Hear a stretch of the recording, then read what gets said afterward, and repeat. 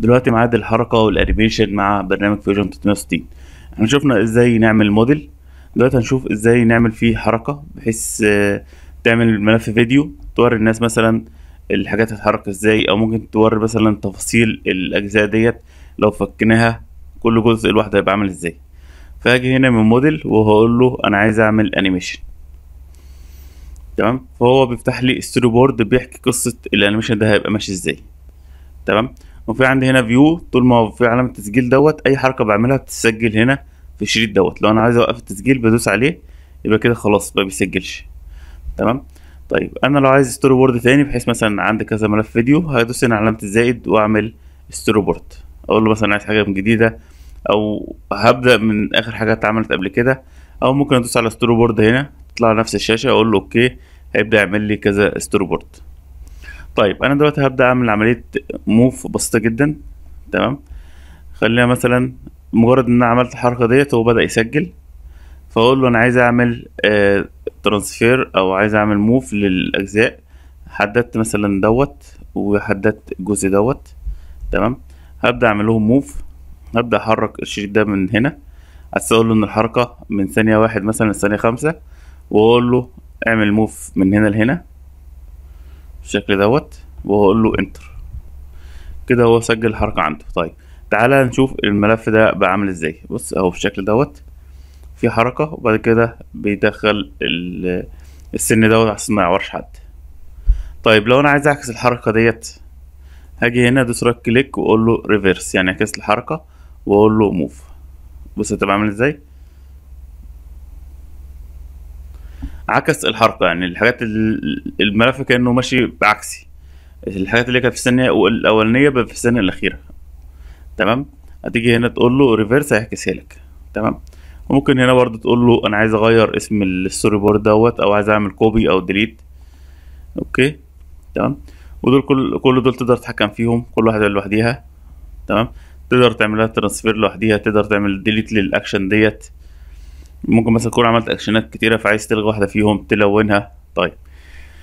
خلينا نشوف حاجة تانية. تعالى مثلا نعمل عملية حركة لجزء تاني. تمام؟ يعني هاجي هنا هعمل عملية حركة مثلا للجزء دوت فهضغط عليه وأقول له transfer وهقول له اعمل لي move بالشكل دوت. تمام؟ وادوس انتر وهقول له اعمل لي مثلا موف لده. نعم. واقول له الناحية دي. تمام. وادوس انتر.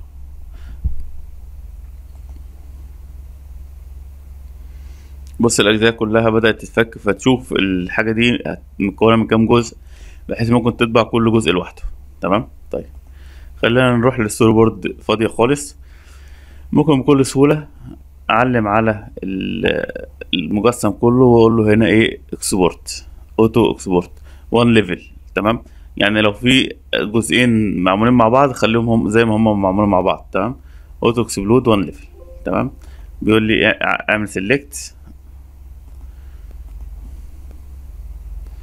تمام؟ فهو هيبدأ يعمل آه، تحليل عناصر وهيبدأ يفككها بحيث كل جزء منفصل بذاته. زي العربية كده اتفكت فكل جزء آه، لوحده.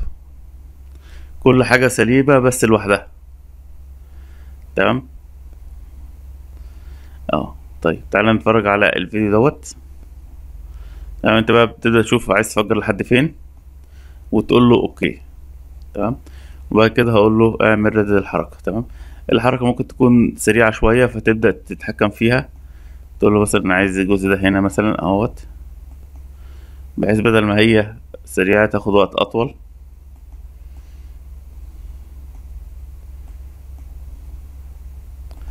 تمام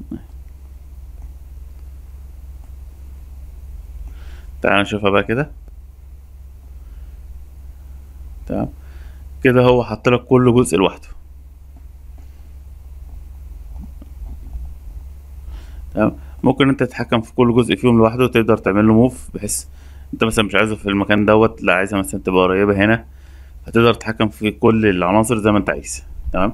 يعني الحركة دي مش مش نهائية لا انت بعد كده بتبدأ تتحكم وتشوف انت كل عايز جزء تحطه فين تمام؟ طيب خلينا نعمل storyboard جديدة.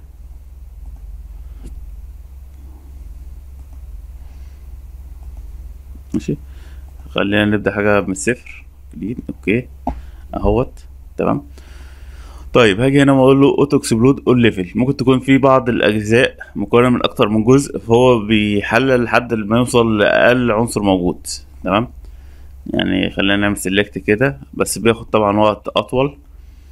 تمام؟ ممكن يكون واحد مثلا في قلب العنصر حط كذا عنصر تاني تمام؟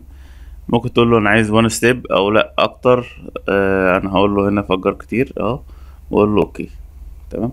وتقدر برضو تتحكم في الوقت زي ما أنت عايز.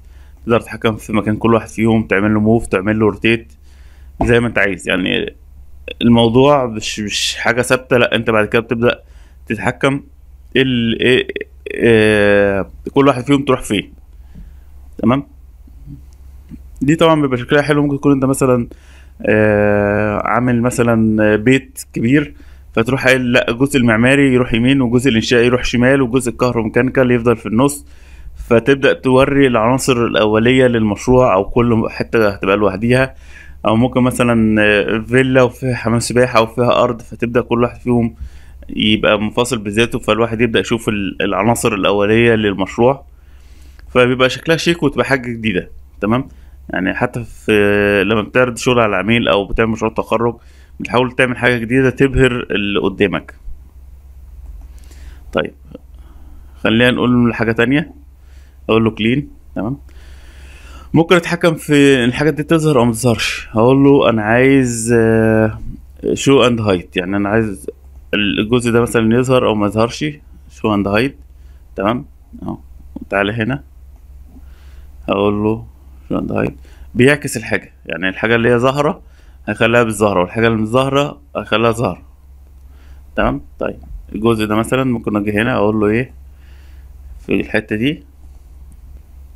show and hide خلاص هيخفي لحد ما أنا أجي هنا واقول له إيه؟ اظهر العنصر دوت. تمام؟ خلينا نتفرج على الفيديو دوت. بدأ في عنصر يختفي بدأ في عنصر يظهر وهكذا. تمام؟ دي, الفكرة من. من قصة الإظهار والإخفاء. ممكن لو عايزين نجمع شكل تاني يعني بعد ما إحنا عملنا تقسيمة أجي هنا أقول له أنا عايز أجمع شكل تاني أعلم على كل عناصر وأجي هنا من transform واقول له restore home هيبدأ يجمع لي الشكل بالطريقة ديت. فهاجي أقول له مثلا وريني هيبدأ يقسم.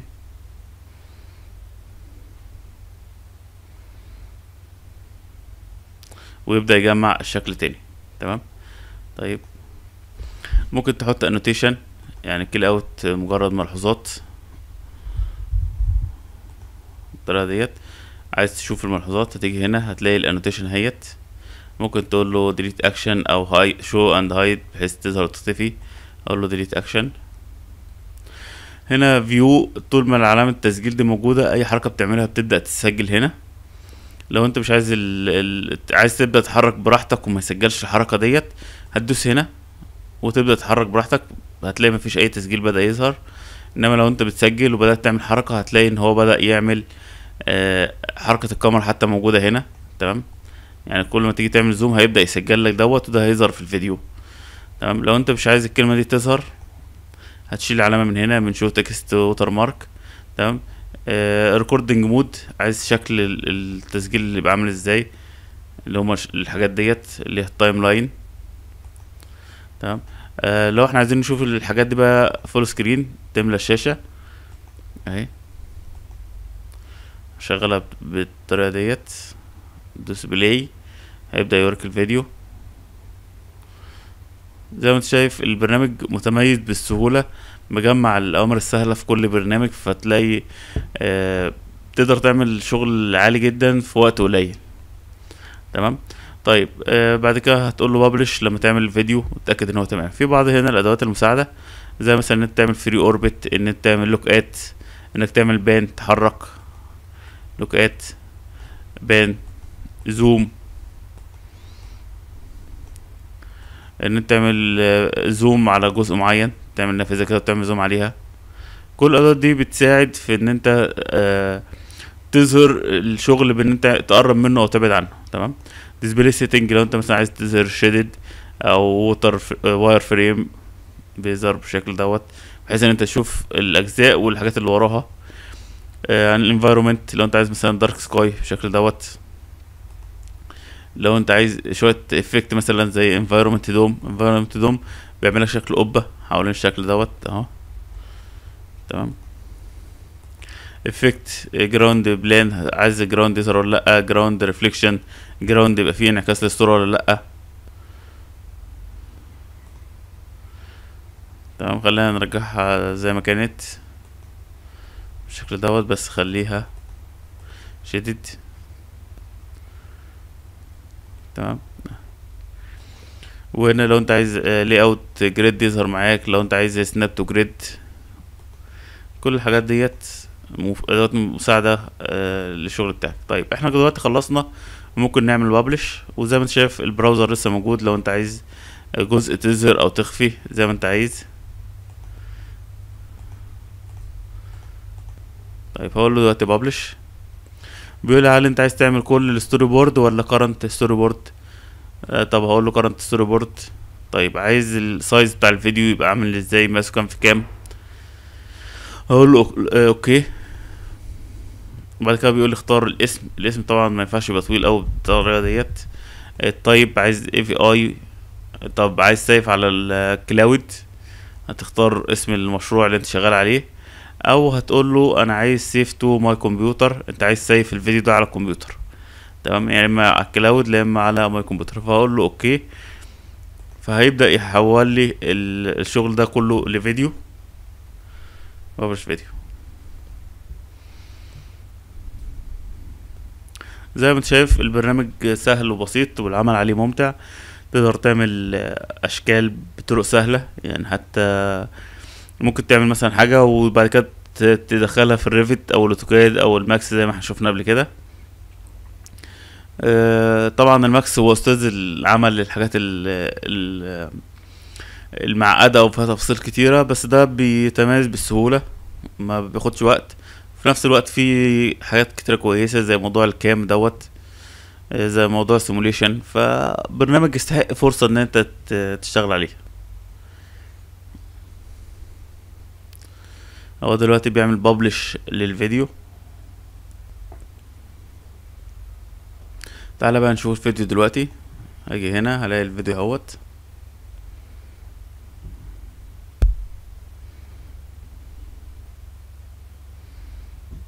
ده الانعكاس إحنا اخر حاجة اخترناها آه، عملنا select على الانعكاس بتاع ال ground. ادي هو الفيديو زي ما انت شايف آه، حلو وكويس وما خدش مننا وقت في ان إحنا نعمل الفيديو دوت. أتمنى يكون الموضوع سهل وبسيط وأتمنى إن أنا ألاقي شغل كويس جدا شغل مبدع إن شاء الله.